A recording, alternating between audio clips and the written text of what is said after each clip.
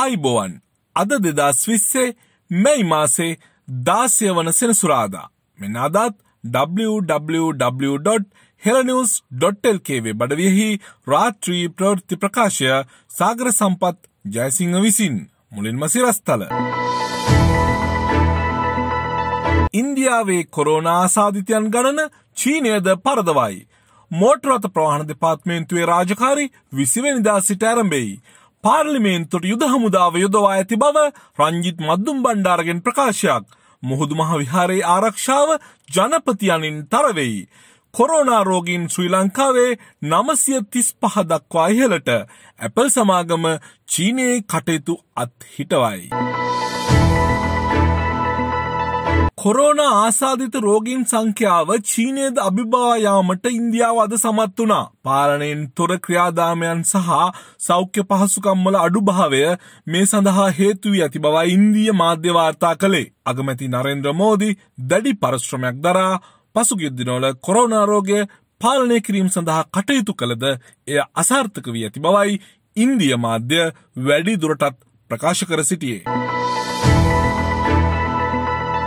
මෝටරත ප්‍රවාහන දෙපාත්මේන්තුවේ දෛනික රාජකාරය මෙම මස විසිවනිදා සිට ආරම්භ කිරීමට කටයුතු කරන බව මෝටරත කොමසාරිස් ජනරාල්වරයාද මාධ්‍යට ප්‍රකාශ කලා එහි කටයුතු සඳහා කලින් වේලාවක් වෙන් කරගෙන පැමිණෙන ලෙසයි. පාර්ලිමේන්තු සම්ප්‍රදාය කඩකරමින් ශ්‍රී ලංකා සන්නද්ධ යුද හමුදාව පාර්ලිමේන්තුවේ ආරක්ෂාව සඳහා යොදවා ඇතැයි හිටපු අමාත්‍ය රංජිත් මද්දුම් බණ්ඩාර මහතා අද රජයට චෝදනා කරා.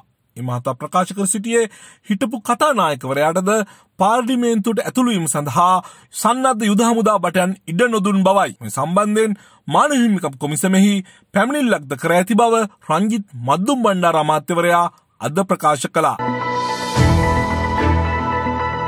ජනාධිපති ගෝටාබේ රාජපක්ෂ මහතාගේ අනින් මුහුදු මහ විහාරයේ ආරක්ෂාව තරකිරීමට ඊයේ නාවික හමුදාව ක්‍රියා කලා. එමෙන්ම මුහුදු මහ විහාරය සතු මංකොල්ල කනලද ඉඩම් අත්පත් කර ගැනීමටද රජය කටයුතු කරන බවයි වාර්තාවන්නේ. මුදුමහ විහාරයේ විශාල ඉඩම් ප්‍රමාණයක් අසල සිටි මුස්ලිම් ජනතාව විසින් අත්පත් කරගෙන තිබෙනවා. මෙම ඉඩම් අත්පත් කර ගැනීමෙන් පසුව එය ගැසට් කර නිල වශයෙන් මුහුදු මහ විහාරයට පවරාදීමටයි මේ වන විට රජය ක්‍රියා කරමින් සිටින්නේ. නාවික හමුදාව මුහුදු මහ විහාරයේ ආරක්ෂාව තර කරනු ඇති.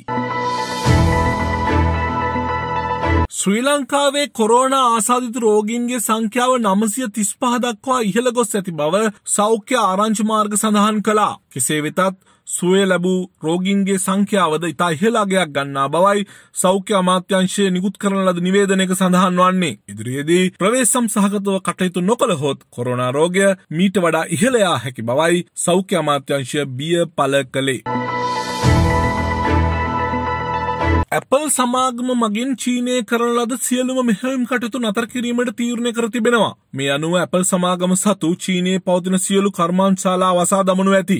කොරෝනා රෝගේ විසබීජ සම්බන්ධෙන් ඇමරිකාව සහ චීනය අතර ඇති අර්බුදය හේතුකොටගෙන මෙසේ ඇපල් සමාගම සිය මෙහෙයුම් චීනය තුළ අත්හර දමා තිබෙනවා. මෙහෙයුම් වියට්නාමේ සිට ආරම්භ කිරීමටයි ඇපල් සමාගම ඉදිරියේදී සැලසුම් කර ඇත්තේ චීනයට මෙය විශාල ආර්ථික හානියක් වනු ඇතයිද විශ්ලේෂකයන් පවසනවා.